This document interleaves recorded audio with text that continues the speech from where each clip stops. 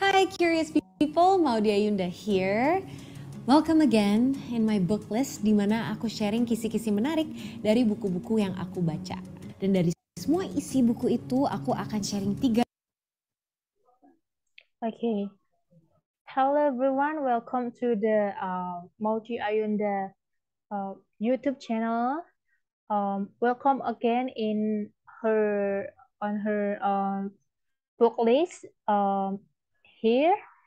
She wants to sharing about the uh, about the interesting interesting from book that she was read.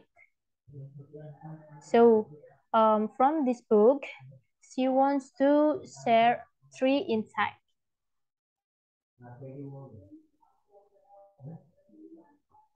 Tiga insights yang personally menarik banget buat aku. Hari ini kita akan membedah buku The Originals by Adam Grant. Um, this book uh, personally um, very interesting for her. Um, today, um, she wants to dissect a book untitled The Original by Adam Grant. Adam Grant adalah seorang psikolog dan penulis Amerika yang saat ini menjadi profesor di Wharton School of UPenn and he specializes in uh, organizational psychology. So um, Adam Grant is a psychologist and also um American writer. Um, now he is he's to be a professor uh, in in Wharton School of the University of University of Pennsylvania.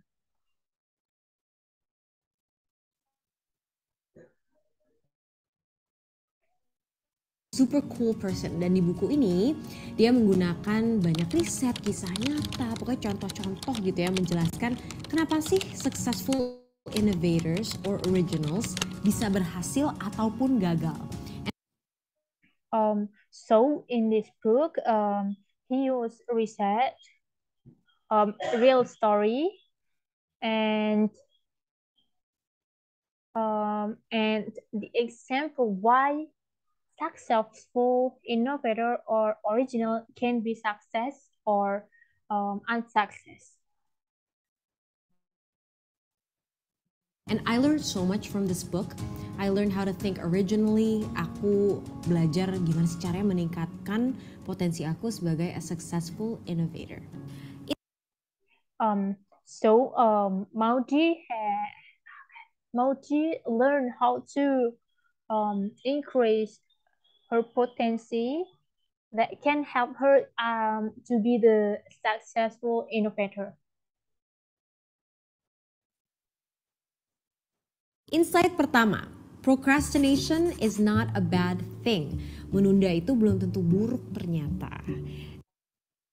Um, so the first thing is the is procrastinator is not a bad thing. Um, a postpone is not um, a bad thing. Dan ini tuh sebenarnya lumayan mengagetkan ya, karena kan kita sering banget dikasih tahu kalau menunda itu pokoknya jangan deh, it's such a bad thing. And we have to do things then and there. We have to do things now. Ditambah um uh it's a little bit surprise because we also um people all, always give us um that people people also inform us that um uh, postpone is such bad thing. Um, we have to do the things right now. Tambah lagi, hampir setiap buku self-help yang aku baca, itu selalu bilang orang-orang sukses itu nggak pernah menunda. Tapi ternyata di buku ini ada banyak momen-momen jenius yang berasal dari penundaan. Um, almost all book by about self-help that she was with. um the content tell that a success person never postponed. But in this book, um, um, there are there are there is a genius moment from postponed. So for example, kata-kata I have a dream karya Martin Luther King itu sebenarnya hasil improvisasi. Dan alasan kenapa sih bisa improvisasi? Itu ternyata karena Martin Luther King was not that ready. Baru mulai nulis pidatonya malam sebelumnya. Dan um, uh, for example, uh, words that word I have a dream by um, Martin Luther King it uh, it's um um improvisation result. And the reason why is he was not ready. He just um write speech. It uh, at the speech last night. Last night Dan karena itu justru Martin Luther King lebih terbuka untuk ide-ide baru. So, menurut Adam Grant, improvisasi itu menunjukkan bahwa penundaan kadang-kadang justru memberikan ruang bagi otak manusia untuk mengembangkan ide-ide lain yang cemerlang. Um, uh, because of that, he uh, he felt more open-minded about the new idea. So, um, based on Adam Grant, postponed um, sometimes bring our brains to the new to the new uh, new idea that is so amazing.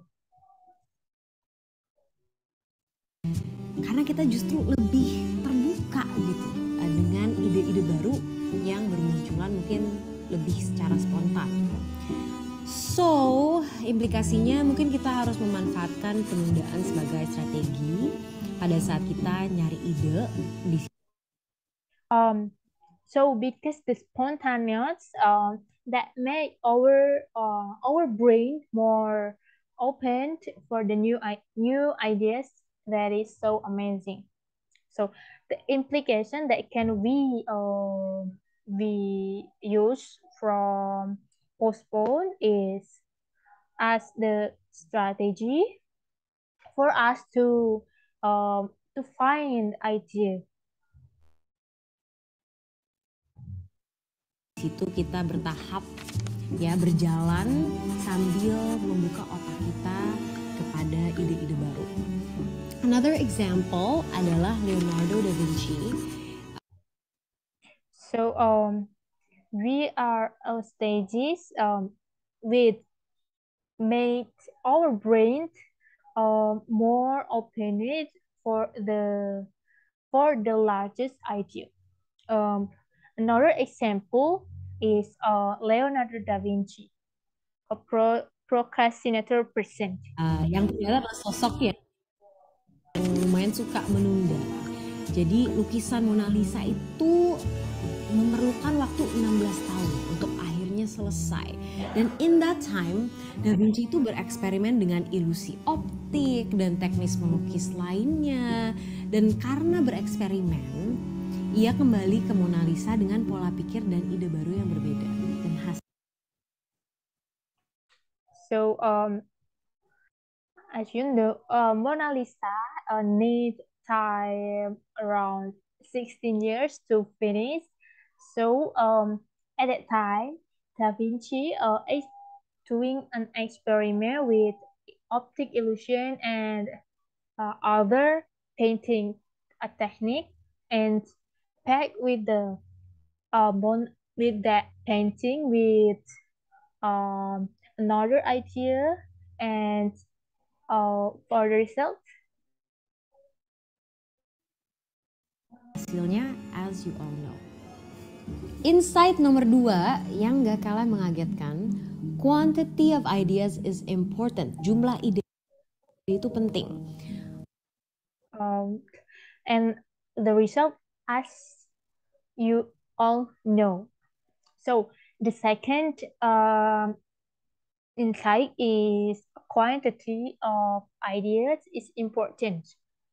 Um, based on Adam Grant, uh, more uh, the idea that made can um, can increase um, the quality of our ideas.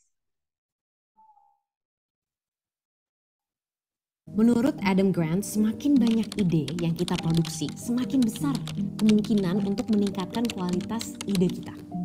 And that's interesting karena banyak banget orang yang bilang quality over quantity. Tapi menariknya dalam hal ide, kuantitas dan kualitas itu sama pentingnya. Um, so, uh, based on Adam Grant, more that you made um, idea that can't increase the quality of our idea. The interesting in this, um, in this case, quality and quantity is same important. Uh, supported by the research that um, that um, that uh, research, individual creative not always have a good idea, better idea, but um, have more idea, uh, um, more depending another idea.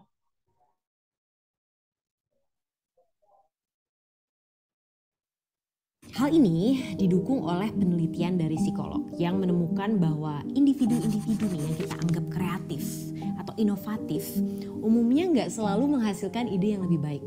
Tapi mereka menghasilkan lebih banyak ide daripada yang lain. Uh, supported with uh, research um, that is um, creative individual uh, not always have uh, better ideas than the but they um have a um another idea.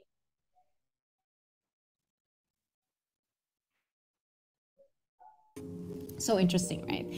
Karena mereka punya banyak sekali ide maka kemungkinannya lebih tinggi untuk mereka mengembangkan ide-ide yang brilian. Ada contoh nih dari buku Pablo Picasso. Picasso kan terkenal dengan beberapa karya seni ya, tapi nggak banyak yang tahu kalau portfolionya tuh sebenarnya ribuan. Patung, lukisan, gambar, puluhan ribu gitu.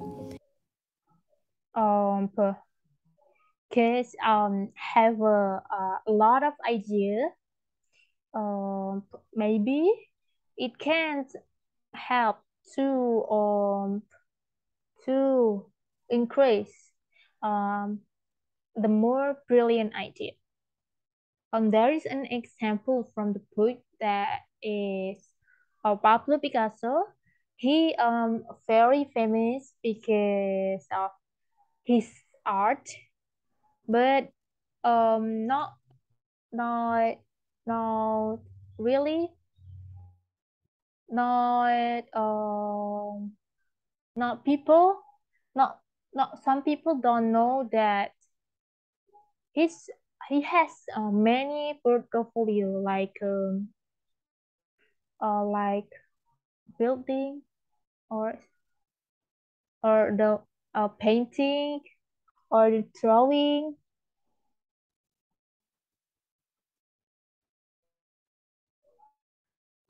Jadi banyaknya karya-karya Picasso itu akhirnya melahirkan beberapa ide-ide berkualitas yang mendorongnya ke kesuksesan. Berarti nih, sebaiknya kita jangan hanya berfokus pada beberapa ide berkualitas aja. Malah kita harus menghasilkan ide sebanyak mungkin. Menurut Adam Grant, kita harus memberi waktu bagi ide-ide untuk datang juga. Um, uh, with a lot of uh, idea, with a lot of uh, like uh, her, his art, that is a reburn some this burn some um the qualities idea. Um so we can we don't we cannot just we cannot just focus on the the um qualities idea but also we have to um made a lot of idea that can help give us um time um for the another idea to come Oleh karena itu, kita jangan mudah menolak ide atau memaksakan ide apa pun juga. We have to stay open so that we can produce as many ideas as possible. Inside um because of that uh, we don't uh, we don't refuse um any other any other ideas slide ketiga and one of my favorites mencoba bidang baru itu penting. Ada satu studi besar yang dibahas di bukunya, di mana mereka membandingkan para ilmuwan pemenang Nobel Prize dengan rekan-rekan mereka yang berprestasi juga tapi nggak memenangkan Nobel Prize. So uh, the third insight insight is um, try new important um, important uh, how can I say uh, important fields not not fields important things. New important things um there there is a research um about uh convert convert convert uh convert oh convert um, uh, the scientists that um, uh, get Nobel get Nobel with their friends, but also um, have a good have a good brain like them, but um, they don't uh, get win on that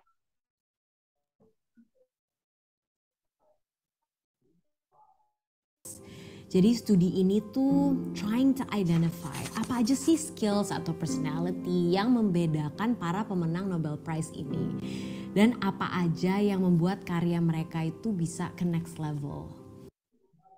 So um, this uh, research um, identify what skills or personality that made them different from the uh, Nobel winner. And what what um what oh what the their innovation in innovation innovation made the next level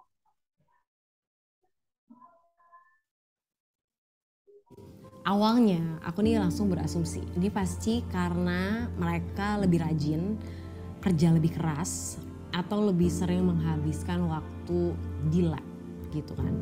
Tapi ternyata sebaliknya, and this is so shocking. Mereka menemukan bahwa itu tidak terjadi sama sekali, but actually yang membedakan adalah kecenderungan para ilmuwan untuk mencoba bidang-bidang lain um, at the uh, at first, I assume that the Nobel winner have more more hard worker, have more work hard worker, but the the truth is uh no.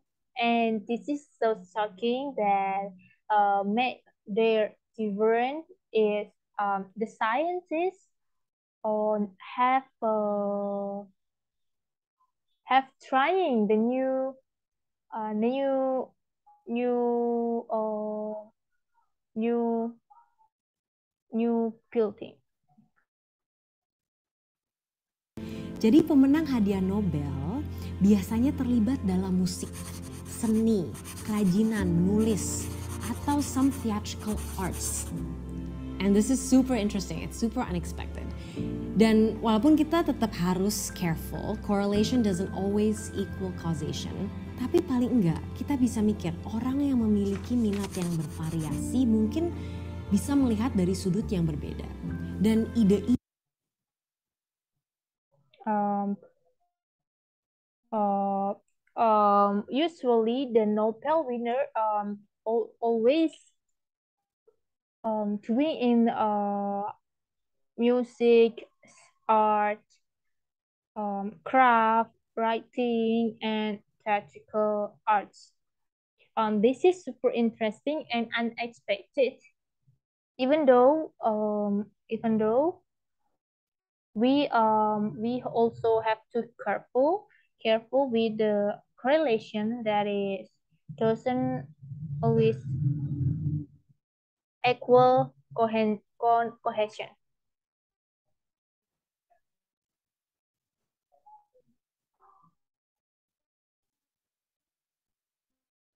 ide atau inovasi-inovasi dari bidang tersebut itu bisa mereka bawa juga ke karya mereka yang sedang mereka jalani sekarang. And now, so what? How do we put the book into action? So that all of that bring them to new uh, variation that can't bring their bring to their um their innovation that is they doing now. So, um, how do we put the book into action?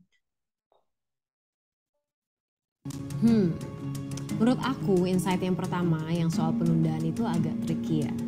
Karena nggak semua hal di dunia ini tuh bisa kita tunda. There are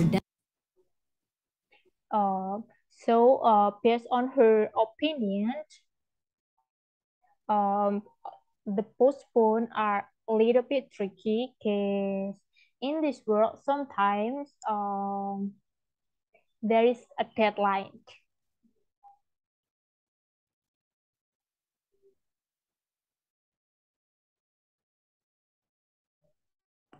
Deadlines in life.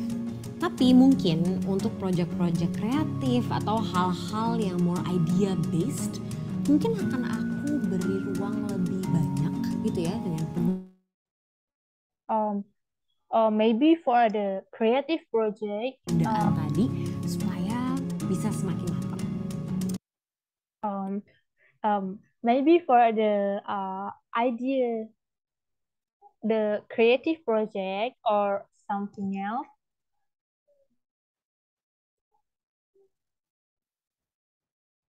or something else um, you we can use a more idea to make to give them a place that is more there is a lot of postponed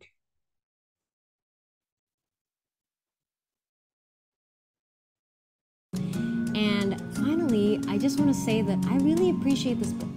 karena benar-benar membuat aku bertanya tentang asumsi-asumsi aku yang lama. Dan aku paling suka kalau misalnya ada something that challenges the way that I think because then I know that I'm growing. Um, so I pray I really appreciate this book um, that made I more assumed.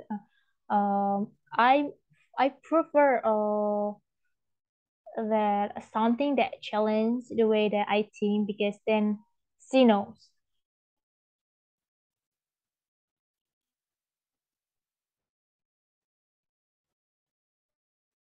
So anyways, thanks for listening, curious people. If you want me to read a book and share with you my favorite insights, kasih book recommendations di di bawah, I definitely read them.